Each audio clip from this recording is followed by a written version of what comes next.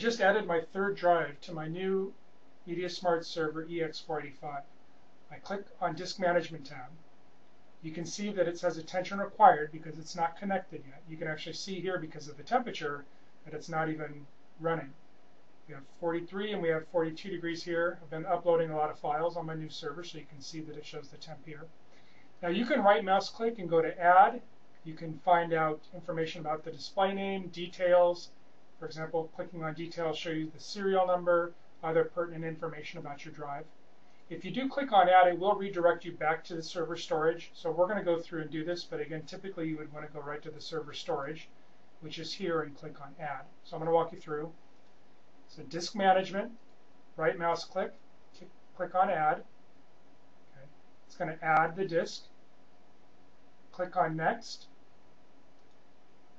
You can see it says that it's successfully marked to go through the server storage tab.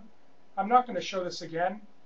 I'll click on finish and it'll redirect us back to the drive space. At this point I'm going to right mouse click on add and go through the standard wizard. I'm going to add this to the pool, which is the top button.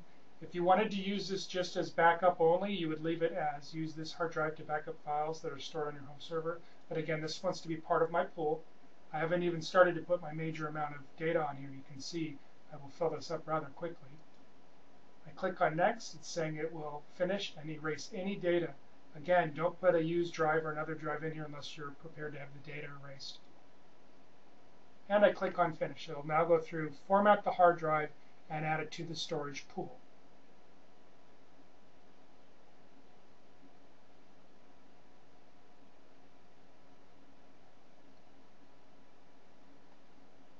It's now done. It took less than a minute. And you can see now that I have my two drives, my Black Caviar Western Digital 1 terabyte second terabyte, and then my original 750. So now I have 2.5 terabytes of data. Going back to the disk management tab, you can see that I have disk 0, which is the original disk, disk 1, and disk 2.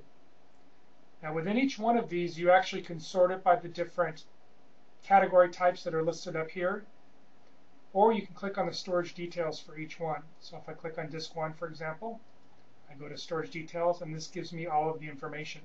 Instead of going back to server hard disks and check selecting another one, I can just use the drop-down list and switch between each one. So my starting drive, the 750 that was listed in here, you can see it has volume C and D, C being system, D being the folder shares, serial number, and you can see that my temperature, how it's running, and the interface. In addition, you can also see the storage amounts. I have data, and I have backups. Currently right now, my data, I have about 90 gigabytes worth of movies from last night. I have about 15 of music, and I have about 10 of pictures so far. I go to my WDC, my second drive. You can see here it's listed as backups because I just ran a backup on one of my other laptops. And on the drive that I just added, which has no space used yet.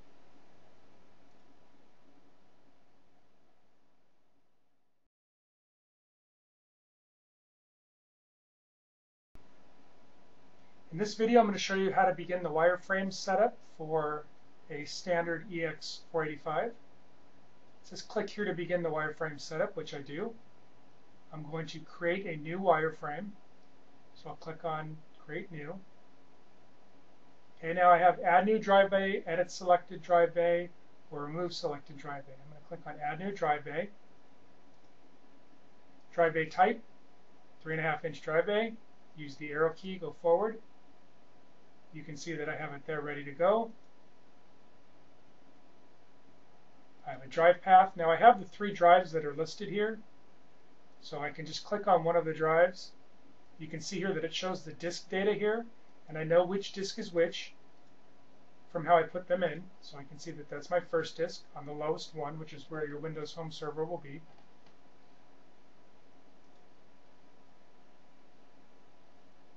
You can put a name if you want. Click on Next. Now I've got my drive bay down at the bottom. I'm going to add another one, so I'm going to click on the arrow. Three and a half inch drive bay. Okay, position relative to, it's going to be above. Okay, you can see above. Drive path, now I only have two left, right? Because I had three and I already did one. So now I'm going to use the second one. Work my way through. Not going to put any name or text at this point because I don't care. Now I'm there. Now I'm going to add my third drive bay. So I'm going to add new drive bay. Click on the arrow. It's going to be a 3.5 inch drive bay. Position relative. Now choose the one. I'm clicking on it. And then choose above. My drive path, I only have one drive left out of the three. Click on that. And I will go through. Now I am going to add one more drive bay because I do have that other drive bay up there. So I'm going to add new. Three and a half inch drive bay. Click the top one, position above. You can put them on the side, however you want to do it. Now this is an empty drive bay, so I'm just clicking on empty for now because it's not going to have anything in it for quite some time. And there we go. So there is my server wireframe. Click on OK, and now here is my drive. Now, why would you want to do this? Let me show you what happens. When you click on Apply and you click on OK, the drive bays now show up. And as you click each one of these, you can see which drive you're looking at. So you can see that I have the first drive that I installed that came with a machine, the second drive that I added, and my third drive. And when eventually I end up with disk 3, it will show up here at the top. And you can click back and forth on any one of these.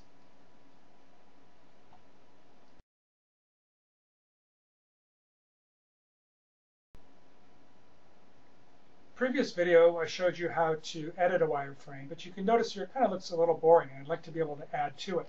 So one of the things that I'm going to do is I'm going to click on Settings, and I'm going to go to Disk Management, and you can see here that I want to edit my current wireframe. And once I click on Edit, I can go through and do what I need to do for adding additional bays or making changes. But I can also go into Advanced Mode. When I click on Advanced Mode and click on the arrow, you can see here that I can actually change the position and the rotation of my drive. You can see that I can move one drive one way or the other. I can also change the position of a drive one way or the other. So if you wanted to go through and make changes to how your drive looks or how your drive feels, you can do that within the advanced mode. And as you go through each one of these, you can actually change the size and position of each of these as you go through it. In addition, if you want to change the orientation of your wireframe as it's viewed, you can go through and change the X, Y, and Z axis. So you can go through and make changes and go through and see how you want to set it up.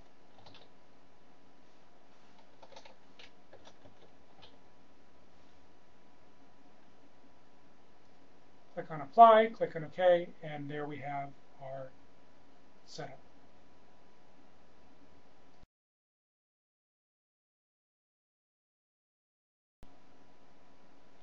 Once you have all of your disks in place and you have your wireframe built, then you can go through and modify and make changes. You can see here that my temperature is 42 and 43 because I'm doing some uploads right now and 34 degrees C on my new drive that I just added as it comes up to speed. Typically they run around 36, 37.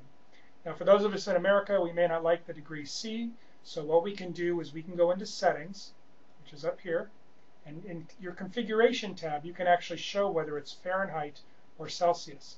In addition, you can also set thresholds to let you know when space utilization is maxed out. So if you wanted to let a warning out when you wanted to have disk space usage or storage full usage, you can make those changes here. So I will click on Apply and I will click on OK.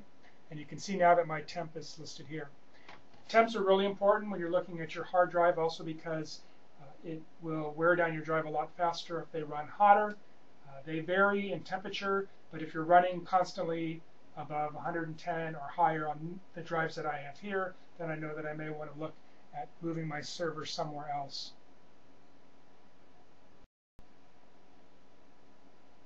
As my drive is now coming up to speed and coming up to temperature, you can see here that I have the storage details again of each one of these You can see how much of the storage pool total data is 126, backups are 166 for a total of 293, and my total amount is there. Again, you have other information that you can get to in server storage. So if you just wanted a real quick look to see where you're at, you could go to server storage, but I very rarely use that. Everything I do is now through disk management. Server hard disks gives you temperature, gives you activity, and storage details gives you the storage details for each one of your drives. Also included again are the serial numbers and the volume information, including folder share information